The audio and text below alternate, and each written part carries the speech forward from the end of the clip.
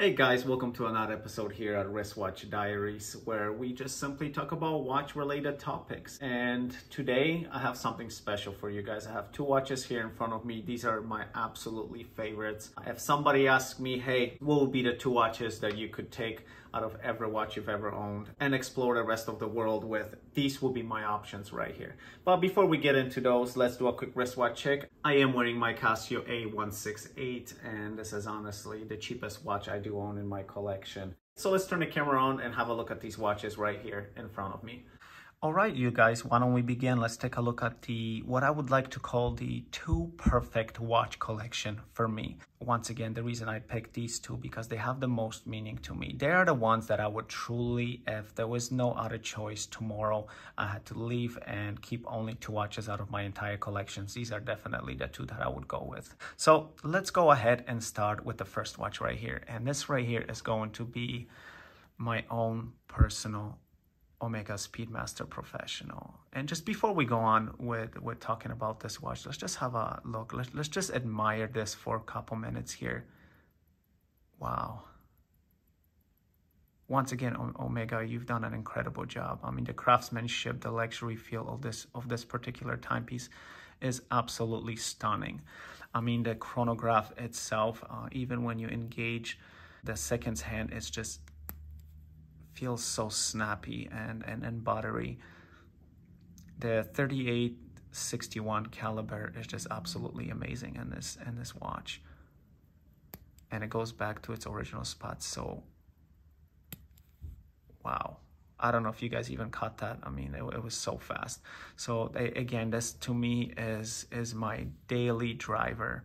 Uh, it reminds me of a Porsche 911. God, I just have just just having a look at this watch, it's it's it's so appealing. The nostalgic feeling is is always there. It never goes away.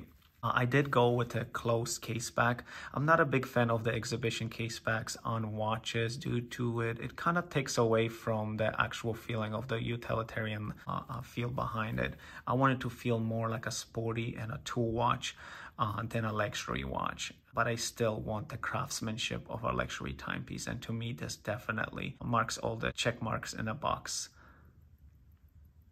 This is the Hesalite crystal as well. Um, if you don't know about the Hesalite crystal, inside, it's difficult to show on camera, but actually inside of the crystal, there's a little Omega logo that's etched in. Once again, stunning. Uh, the, the, the strap option variations for this watch is absolutely incredible as well. Uh, if you Google uh, different types of leather options for this particular watch, you will notice that there's going to be so many images relating to how many variations of straps are compatible with this particular watch is just outstanding.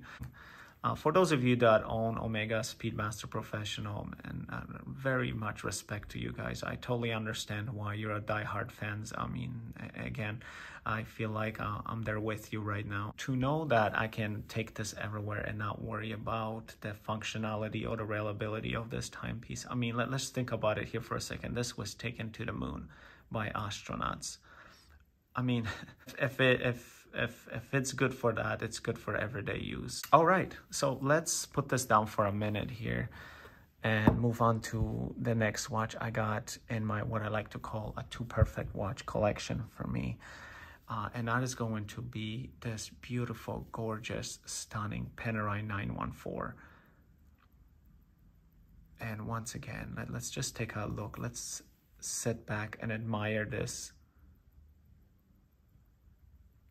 beautiful watch for a couple minutes here because it truly is incredible.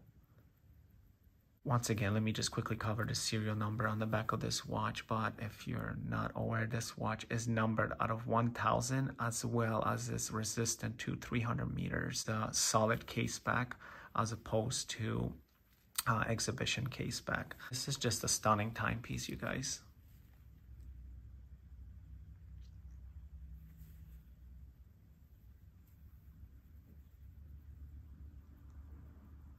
P5000 caliber uh, that offers a whopping eight day power reserve and that's absolutely just remarkable engineering. Now also the buckle is just stunning.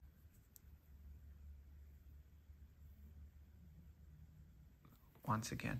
This leather strap is actually very, very durable. I believe I've gotten this soaked and wet countless of times and it's really holding up really well. Wow, just a stunning, stunning timepiece. And if you guys are Panerai owners and you do have Panerais in your collection, you're a diehard Panerai fan, uh, please go ahead and comment below. I love to hear what you guys have. I love to hear what else is out there. It's such an iconic design too. The strap is holding up so well. That's the kind of quality I like to see in a watch. Wow, just absolutely stunning. All right, you guys, that's all I got for you here today in this video. Once again, you guys, thank you so much for coming along and taking a look at what I like to call the two most incredible pieces in my collection that I truly feel the most connected to and enjoy wearing the most. Uh, other than that, you guys, thank you for coming along and I'll see you guys in the next one. Take care.